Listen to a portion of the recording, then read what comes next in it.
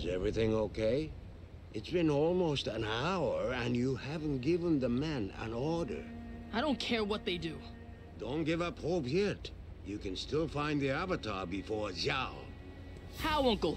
With Zhao's resources, it's just a matter of time before he captures the Avatar. My honor, my throne, my country. I'm about to lose them all.